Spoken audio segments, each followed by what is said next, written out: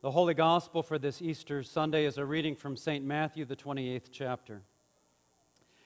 After the Sabbath, as the first day of the week was dawning, Mary Magdalene and the other Mary went to see the tomb. And suddenly there was a great earthquake, for an angel of the Lord descending from heaven came and rolled back the stone and sat on it. His appearance was like lightning, and his clothing was white as snow. For fear of him, the guards shook and became like dead men. But the angel said to the women, Do not be afraid. I know that you are looking for Jesus who was crucified. He is not here, for he has been raised, as he said.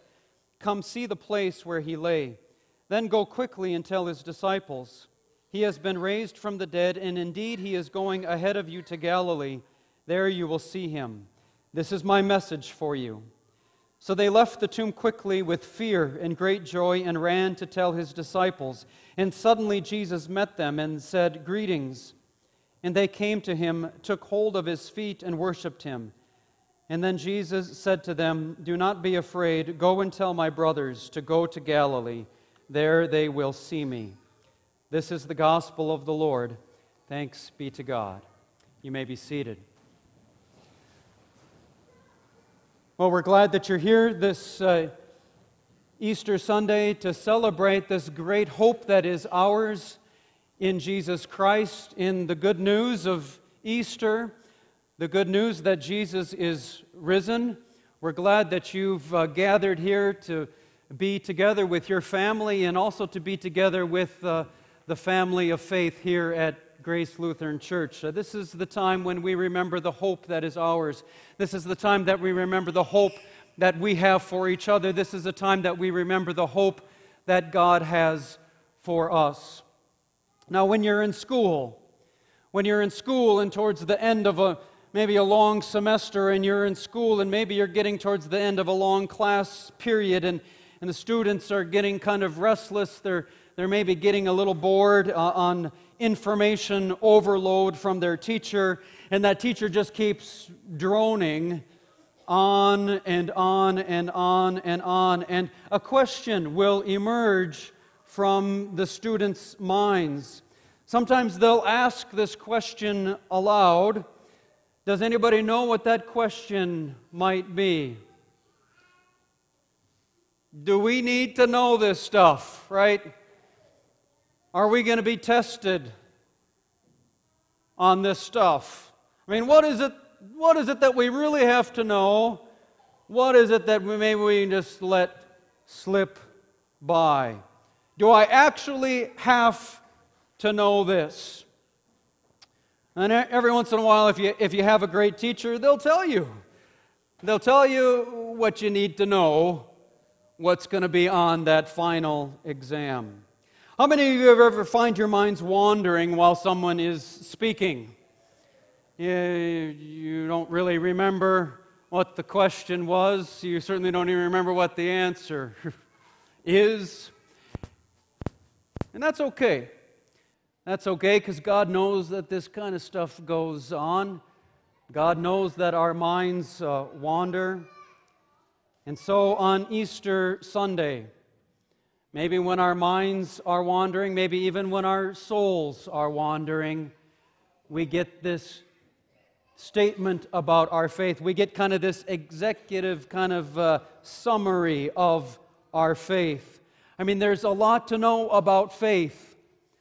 There's a lot to know about how we live our lives in faith. There's a lot of information that comes to us, but what's essential? What's the main thing? What's the core of it? What's the essence of it? What's the end of it? What's the purpose of it? What's the objective? What's the goal? What's the main point of our faith? Well, we get this in the Easter proclamation. We find this in the end of Easter, the purpose of Easter. And the first foundational thing about the Easter proclamation is that Christ has died. That's important for us to know. And this isn't difficult for us to know. This certainly isn't even difficult for us to remember. We know all about death because death is real for us. The Bible tells us that among those who tended to Jesus' body were two Marys, and they were there to prepare Jesus' body for burial.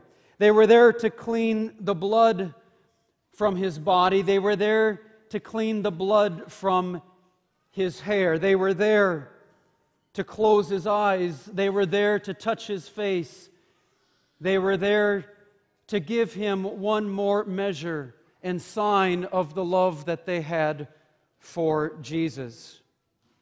So they were there, these two Marys, the last to leave Calvary and the first to arrive at the grave.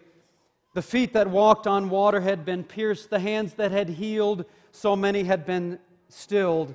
So early on that Sunday morning, they were engaged in only one encounter, and that was an encounter with death.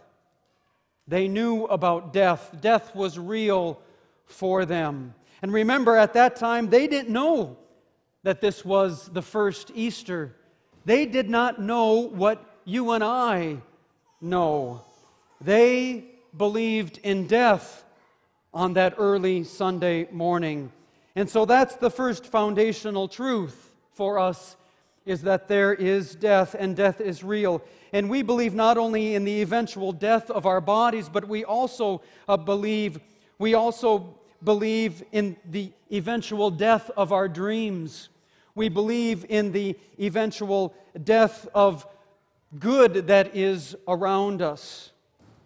We believe in the eventual death of our careers, of all the good moments that we gather in this life. We know that at some point, at some time, those moments will come to an end. So we know about death as well.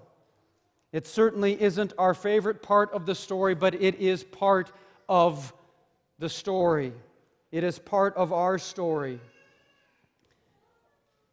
And I've been to a lot of funerals. We go to the cemetery where we stand around in a circle and we pray, and where people weep, and, and where there is a fresh headstone that is laid down. I've been to a lot of funerals, and you've been to a lot of funerals. Some were for people who lived long and faithful lives.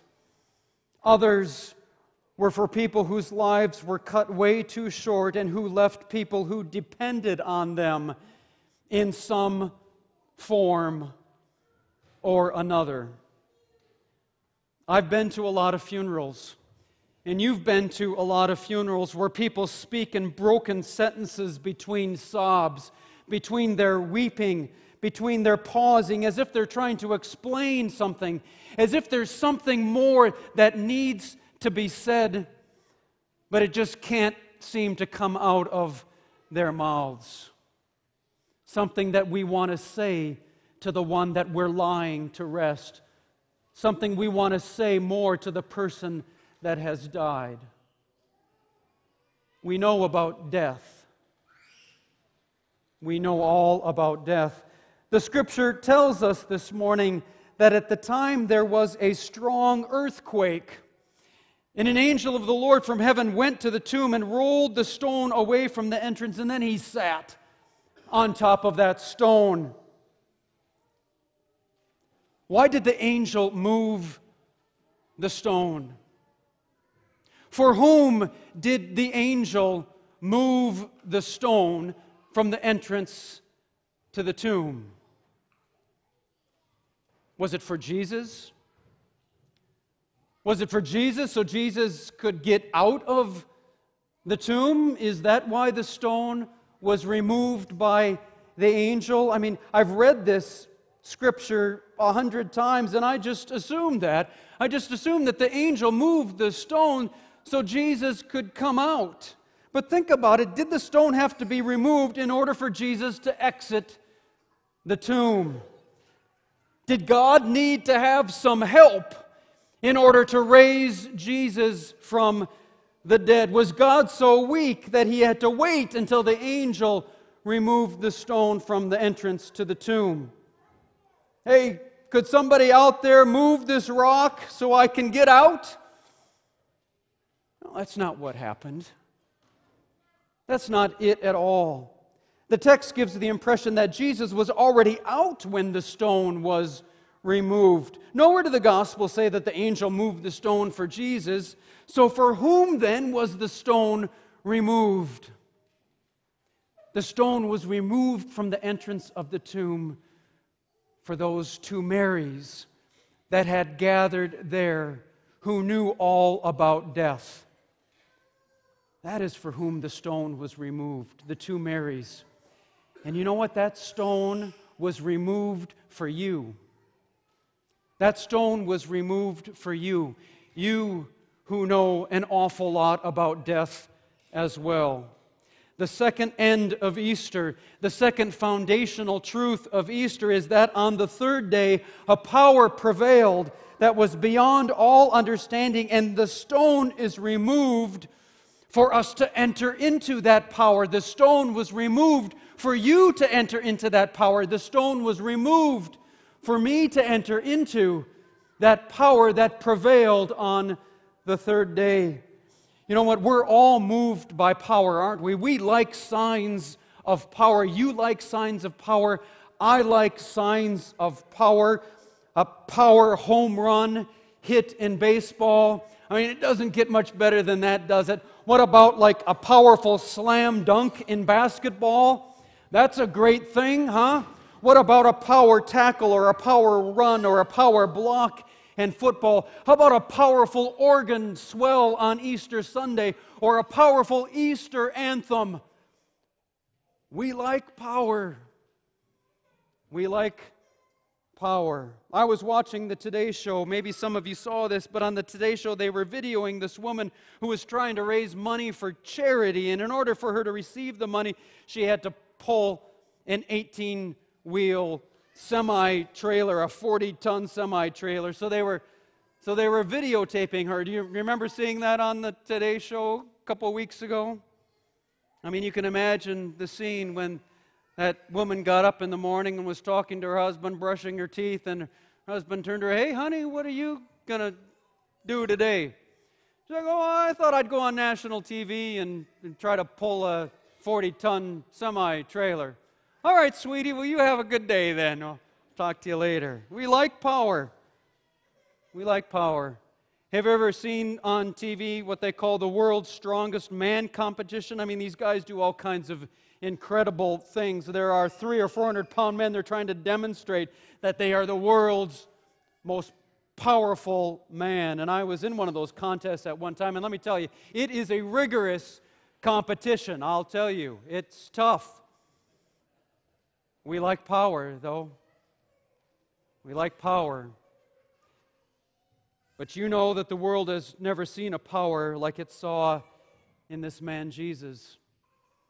The world has never seen a power like this. People would flock to him because they saw him heal with a touch. They saw blind people who could see again. They saw lame people who could walk again. They saw him touch others and they were made well. That was the power that this Jesus had. And they saw him defy authority and they had never seen a raw power like this. And when he stretched out his arms and when he hung on the cross, they thought that they were seeing weakness, but they were not seeing weakness, they were seeing power. They were seeing power that had never, ever been displayed in such a way before in their lives. It was a power that prevailed. They were seeing a power of God like it had never been displayed before in the world. And on the third day, on the third day, there was power, not the kind of power that lorded over people. This is a power, a power Scripture says is made perfect in weakness. Perfect in weakness. There was this power that prevailed on the third day. I've been to a lot of funerals. You've been to a lot of funerals, and I've never yet seen a person sit up. I've never yet seen a person being raised from the dead. But you know what?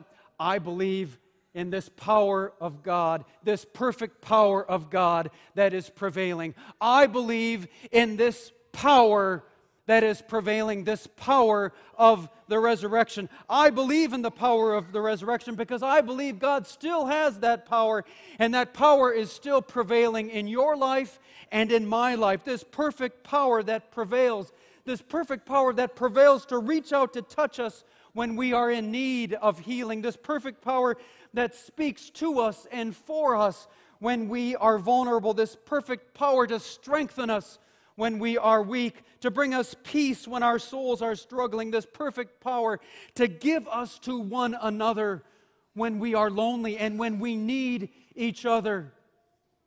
I believe in this perfect power that is still prevailing. I don't know about you, but I believe in this power. Now, we're Lutherans, and when we are, you know, kind of bored and out of our, you know, we're just kind of, you know, we, we, we look a lot like this when we're bored.